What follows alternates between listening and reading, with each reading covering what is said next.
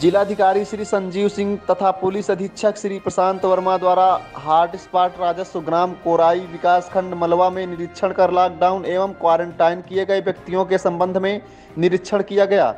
यह निर्देश निर्देशित किया गया कि आने वाले व्यक्तियों को प्रत्येक दशा में 21 से 28 दिनों तक आइसोलेशन में रखा जाए। ग्राम निगरानी समिति प्रत्येक ऐसे व्यक्ति का विवरण तैयार कर चिकित्सा विभाग को उपलब्ध कराएँ।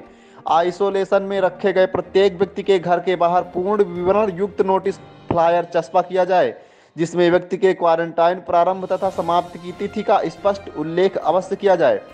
यदि कोई व्यक्ति आइसोलेशन के नियमों का पालन नहीं करता है तो उसको परिवार सहित संस्थागत क्वारंटाइन सेंटर में पुनः भर्ती कराया जाए या बार बार उल्लंघन पर उसके विरुद्ध सुसंगत धाराओं में प्रथम सूचना रिपोर्ट दर्ज की जाए।